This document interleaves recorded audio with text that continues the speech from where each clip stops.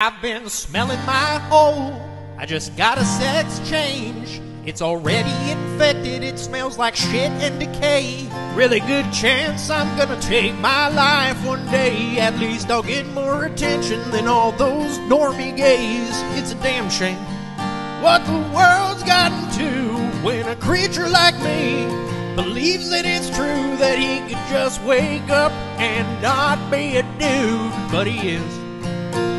Oh, he is living as a new girl with a Y chromosome. You ask which men can be women, I'll tell you which can. The ones that trade their pole for a hole, and that hole really stinks, and it's covered in goo, and it smells like a combo of roadkill and poop. If I don't dilate it, it will heal shut and in. Tell me which man can be women.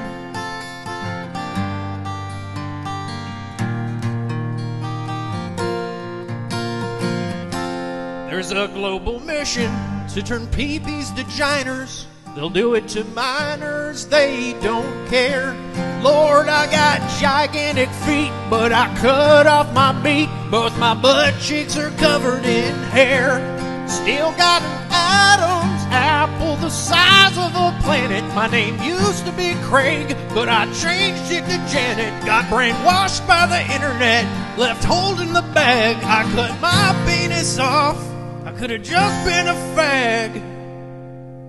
It's a damn shame what the world's gotten to when a creature like me believes that it's true that he could just wake up and not be a dude, but he is. Oh, yes, living as a new girl with a Y chromosome. You ask which man can be women, I'll tell you which can. The ones that trade their pole for a hole, and that hole really stinks, and it's covered in goo, and it smells like a combo of roadkill and poop. If I don't dilate it, it will heal shut and fill in. Tell me which man can be women.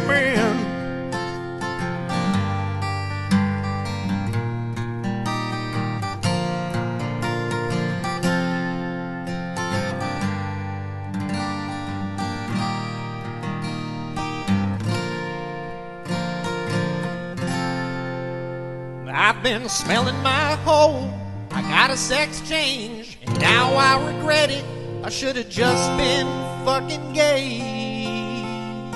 Just been fucking gay.